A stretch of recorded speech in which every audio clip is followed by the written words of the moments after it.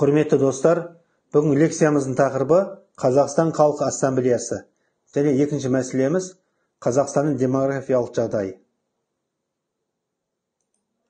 Қазақстан халқы ассамблеясы 1995 жылы бірінші наурызда қазақстан республикасының президентінің жарлығымен құрылған болатын. Қазақстан халқы ассамблеясының қызметіне тоқталып кететін болсақ еліміздегі барлық этнос өкілдерін ортақ мақсатқа ұйымдастыра отырып республикадағы тұрақтылықты сақтау мен ел дамуына үлес қосу қазақстан этностарының мәдениеттері тілдері дәстүрлерінің дамуына қажетті жағдайлар жасау. Қазақстан халық ассамблеясының негізгі міндеттері. Қоғамда этносаралық келісімді және толеранттылықты одан әрі нығайту үшін қолайлы жағдайлар жасау. Халықтар бірлігін нығайту. Қоғамдағы экстремизмнің және радикализмнің көріністері мен адамның және азаматтың құқықтары мен бостандықтарына қысым жасауға бағытталған әрекеттерге қарсы тұруда мемлекеттік органдарға жәрдемдесу азаматтардың демократиялық нормаларға сүйенетін саяси құқықтық мәдениетін қалыптастыру.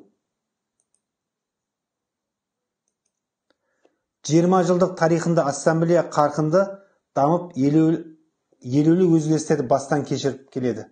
Оның дамуы барысында нұрсұлтан назарбаевтың этносаралық толеранттылық және қоғамдық келісімнің қазақстандық үлгісі қалыптасты. Осы жылдар ішінде қазақстан халық ассамблеясының институционалдық құрылымы нығайып қоғамды ұйымдастыру әлеуеті толысты.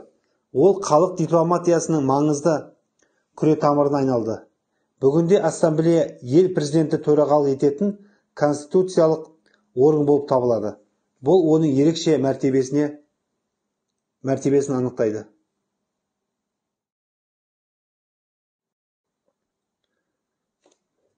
Бүгінде республикада қазақстан этнос этностарының мәдениеттері тілдері дәстүрлерінің дамуына қажетті барлық жағдай жасалған. Этномәдени бірлестіктердің өзінің саны тұрақты өсуде. Қазір олар 800-ден асады. Оның ішінде 28-і республикалық 15 тілде газет журнал 8 тілде радио бағдарламалар 7 тілде телебағдарламалар шығады. Білім беру толықтай өзбек тәжік ұйғыр және украин тілдерінде жүргізілетін. 88 мектеп жұмыс істейді. 108 мектепте 22 этностың тілі жеке пән ретінде жүргізіледі. Осымен қатар балалардан басқа үлкендер де 30 этнос тілдерін оқуға мүмкіндік алған. 195 этно білім беру кешендері жексенбілік және лингвистикалық мектептер ашылды. Қазақ және кешендері қазақ және орыс театрларын қоспағанда елімізде тағы төрт ұлттық өзбек ұйғыр кәрей орыс театрларын қоспағанда елімізде тағы төрт ұлттық өзбек ұйғыр кәрей және неміс театрлары жұмыс істейді. Әр жыл сайын қазақстан этностарының тілдерінде бірнеше ондаған жаңа кітаптар жарық көреді.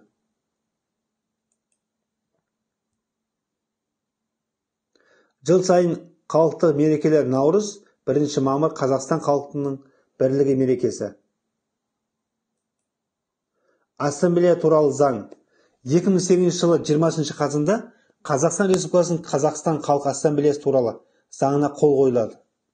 Осы заң этносаралық қатынастар саласындағы негізгі принциптерді айқындай айқындай отырып қазақстан халқы ассамблеясы мен оның құрылымдарының мәртебесін заң деңгейінде бекітеді. Этносаралық қатынастар субъект субъектілердің жұмысының елімізде жүргізіліп келе жатқан саяси бағыт пен үндес жаңа жүйесін қалыптастырады. Заң қазақстан республикасындағы мемлекеттік ұлттық саясатты іске асыруға қоғамдық саяси тұрақтылықты қамтамасыз етуге мемлекеттік және қоғамның азаматтық институттарының этносаралық қатынастар саласындағы өзара іс-қимылының тиімділігін арттыруға бағытталған. Қазақстан халқы ассамблеясының жұмысын ұйымдастыру тәртібін айқындайды. Заңға сәйкес қазақстан халқы ассамблеясы ол заңды тұлға құрылмай тұлға құрылмай. Қазақстан республикасының президентіні құратын мемлекеттік ұлттық саясатты әзірлеуге және іске асыруға ықпал ететін мекеме. Ассамблеяның мақсаты қазақ халқының топтау топтастырушы үрін арқау ете отырып қазақстандық патриотизм қазақстан халқының азаматтық және рухани мәдени орталығы негізінде қазақстандық азаматтық бірегейлік және бәсекеге қабілетті ұлтты қалыптастыру процесінде қазақстан республикасында этносаралық келісімді қамтамасыз ету болып табылады. Қазақстан республикасының тұңғыш президент тұңғыш президентіне елбасына қазақстан халық ассамблеясын өмір бойы басқару құқығы тиесілі. Ассамблеяның құрылымын ассамблея сессиясы. Екінші ассамблея кеңесі. Ассамблея хатшылығы облыстардың республикалық маңызы бар қаланың астананың ассамблеялар құрайды. Парламент мәжілісіне қазақстан халық ассамблеясынан сайланған тоғыз депутат еліміздің барлық этносаралық этностар атынан өкілдік етеді. Бұдан басқа қазақстандық этностық қоғамдық өкілдері парламенттегі өкілдігі парламенттегі өкілдігі өкілді органдарға саяси партиялар арқылы сайлауға тікелей қатысу негізінде жүзеге асырылады. Ә, енді қазақстандағы демографиялық ахуалға келетін болсақ қазақстан республикасының халқының саны. Біздің елімізде мың қыз балаға 1045 ер бала туады. Және төменгі жастарда ер адамдардың саны басым. Еркектердің үлес салмағы өлудің жоғары дәрежесіне байланысты азайып жыныстардың арақатынасы теңеледі. Енді әйелдер саны көбейе түседі. Қазіргі уақытта қазақстанда әйелдер саны еркектерден 560 мың артық. 560 мың артық. Олар халықтың елу екі пайызын құрайды. Орта есеппен алғанда мың еркекке мың жетпіс жеті әйелден келеді. Республика әйел саны көп мемлекеттер қатарына жатады. Қазақстан демография сатысы ә, халық санының өзгеру сипатына қарай төрт сатыға бөлуге болады.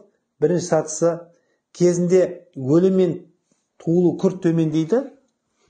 Өлім мен туылу күрт төмендейді бірақ өлім коэффициентінің төмендеуі туу коэффициентінің төмендеуінен алда болады. Сондықтан халықтың өсімі артады. Мұндай жағдай көптеген дамушы елдерде қалыптасып қалыптасып отыр. Ал дамыған елдер бұл кезеңнен 20 ғасырдың басында ортасында өтіп кеткен болатын. Ал екінші сатысында өлім минимумға жетеді де одан төмендемейді. Бірақ туылу төмендей береді сондықтан халық өсімі баяулайды. Үшінші сатысында халықтың қартаюына байланысты өлім коэффициенті артады. Сонымен қатар туылудың төмендеуі баяулайды. Үшінші сатының соңына қарай туу коэффициенті халықтың жай көбеюіне көбеюінің деңгейіне жақындайды. Ал өлім коэффициенті бұл деңгейден төмен болып қалады. Себебі халықтың жастық құрамы әлі де тұрақты емес. Экономикалық жағынан дамыған елдер өтпелі кезеңнің осы сатысына жақын. Төртінші сатысында өлім коэффициенті арта отырып арта отырып туу коэффициентіне жақындайды да демографиялық тұрақтану аяқталады. Қазақстанда халық санының өзгерістеріне келетін болсақ жалпы э, халық санағы он жыл сайын э, болып отырады. 1950 жылы 9 миллион 283 мың адам болса қазақстанда 1970 жылы 13 миллион болған халық санағы. 1979 жылы 14 миллион 688 мың болса 1989 жылы 16 миллион 199 мың адам болған. 1999 жылы 14 мың 14 миллион 553 мың адам болса 2009 жылы 16 миллион 196 мың адамға жеткен. Жаңағы 1989 жыл санақ бойынша айтып кеттік 16 миллион 199 мың. Бұл кезде халық саны көп болды.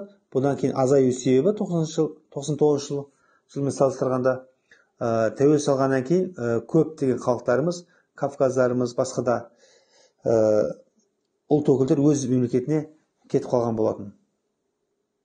Енді біз ә, соңғы халық санағы осы жылы болып жатыр. 2021-де ә, шамамен 19 миллионға жуықтап қалдық.